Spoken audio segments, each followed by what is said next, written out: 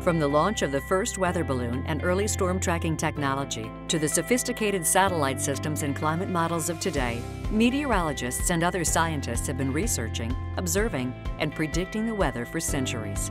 And for over 95 years, atmospheric scientists, oceanographers, hydrologists, and many other Earth system scientists have been coming together to the American Meteorological Society's annual meeting to meet, greet, collaborate, and share ideas about research.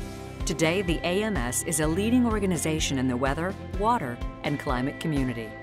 My two favorite things about the annual meeting are knowledge and networking. Um, when you come here, you get to hear the latest research, the latest scientific findings from some of the very top people in the field. I often say that the annual meeting should be on the bucket list of any weather enthusiast or professional in the field of weather, climate, meteorology, and atmospheric sciences. The AMS is more than a familiar face on local TV providing weather forecasts. It's a vibrant group of scientists, professionals, students, authors, educators, researchers, and weather enthusiasts from all over the world. It's being surrounded by this group of really passionate and engaged people. When I leave this meeting, I actually leave more excited about my own work. I should also emphasize that we don't just deal in meteorology. We deal in hydrology, we deal in education, we deal in climate, air pollution. Uh, the AMS, the American Meteorological Society, is a very well-known brand. The key to success in sciences is collaboration. The AMS annual meeting allows everyone across the weather, water, and climate enterprise to learn from and speak with experts who are passionate about the latest and greatest research and technology. You have the administrator of NOAA, you have the director of the National Weather Service, you have researchers that are improving the weather forecast models that impact people's lives every day. Uh, you have companies like the Weather Channel or AccuWeather here, and they are they provide value-added services to the public. There's a tremendous amount of interdisciplinary collaboration that occurs here. The AMS annual meeting brings together great minds from a diverse set of scientific disciplines, helping members make career-long professional contacts and lifelong friends.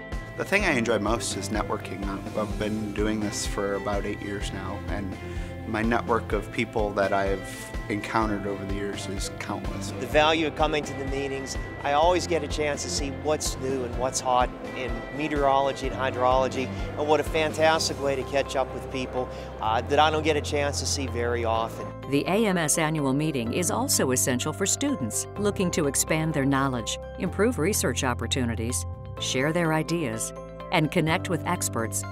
You build your skills, you work on your weaknesses, and then the students are able to grow professionally and personally.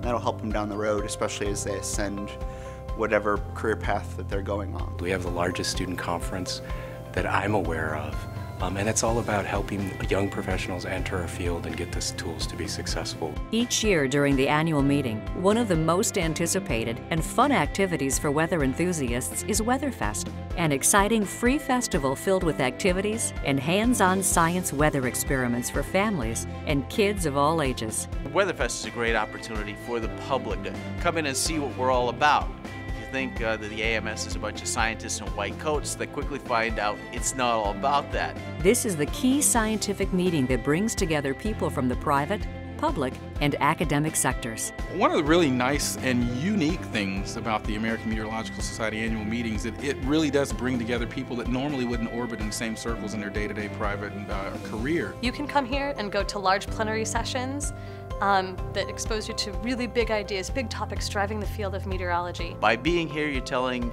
everybody here that you want to be part of something great, that you want to be part of something that really means something in the scientific world. The American Meteorological Society is the leading voice in the weather, water, and climate community. The AMS annual meeting is the place where the community comes together to share, collaborate, learn, and network, and make a difference.